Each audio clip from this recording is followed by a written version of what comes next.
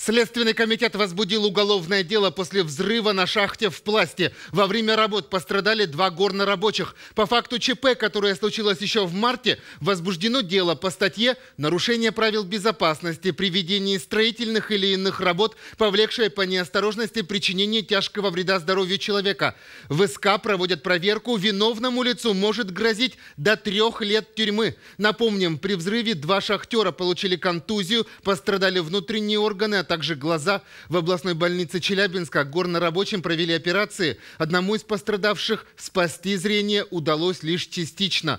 Сейчас шахтеры проходят реабилитацию.